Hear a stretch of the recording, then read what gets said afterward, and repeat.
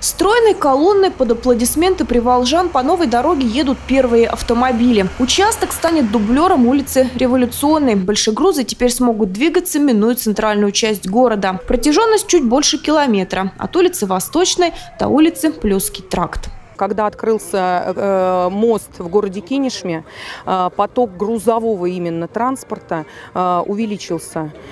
Пошли фуры, пошли большегрузы через наш город. И, естественно, все это создавало неудобства для жителей.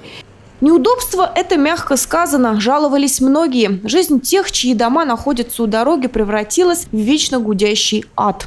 Мы стали добиваться много лет назад у нас э, очень создалась такая обстановка на улице, идет очень сильные вибрации, когда идут большие грузы. На революционной? На революционной. Жить там невозможно, падают люстры в домах. Очень часто приходится ремонтировать канализационные системы.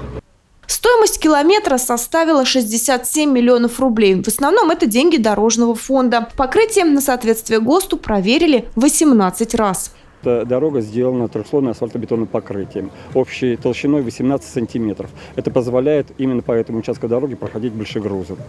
А, строительный независимый контроль осуществлялся а, организацией, которая из другого региона, Саратовской области.